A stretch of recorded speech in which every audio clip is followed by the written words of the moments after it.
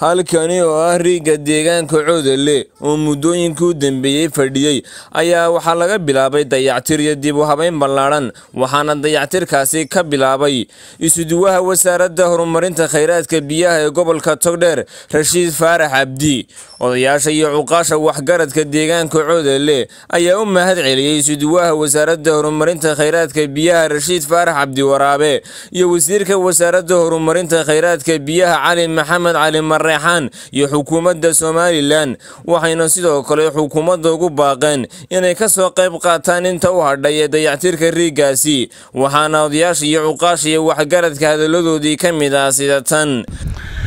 Maanta oo ay taariikhdu tahay bishii toddobaad keedii labada kun iyo labaiyo labaatanka anigoo ah isuduwey wasaaradda horumarinta biyaha ee gobolka togdheer waxaanu joognaa magaalada coodale halkaas oo aanu ka wadno ka wasaarad ahaan dayactirka ceelkii coodale oo muddo imika fadhiyey dayactirkaas oo ka kooban in ceelka bamka iyo baybka iyo kebalka wayarkaba laga bedelo islamarkaana taangi cusub iyo dararkii xoolaha oo lagu kordhiyo.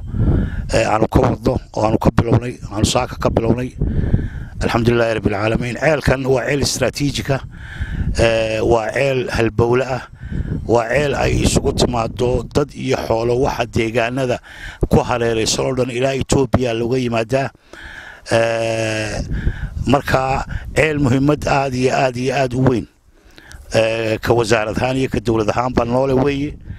Runtii muddo imika lix bilooda gudahood shaqaynta uu aad u shaqeeyo aawadeed oo habeen iyo maalinba aan la baktiin dayactir fara badan oo ilaa iyo labiyo toban jeer koob iyo toban jeer labiyo toban jeer markay intaan xusuusanahay ayaanu dayactir ku samaynay muddada lixda bilooda.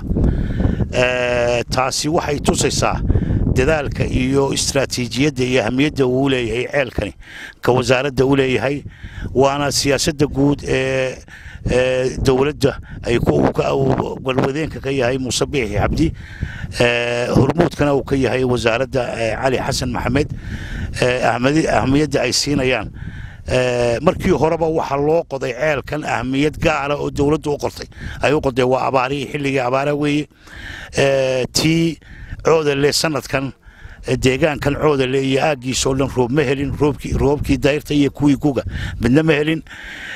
Sidaa la ajrigeed ayuu ahamiyad gaara uu annaga ka wasaarad ahaan uu noo leeyahay.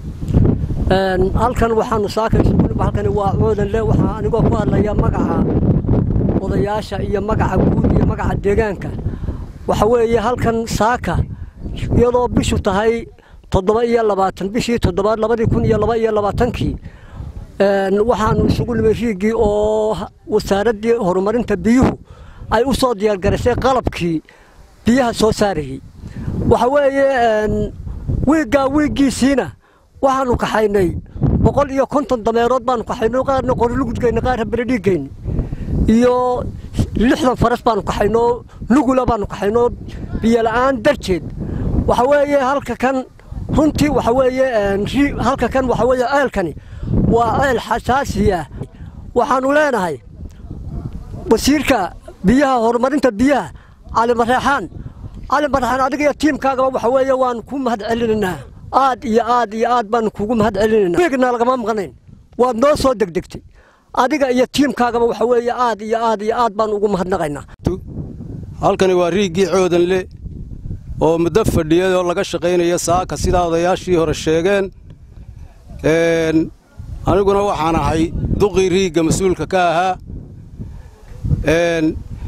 Riiggaasi iminka mudduu fadhiyey ilaa laba bilood oo dhowdhow waxaannu u mahad celinaynaa ugu horrayn dawladda ilaa madaxweynaha ilaa wasiirka cali mareexaan iyo wasaaradda dhammaanba.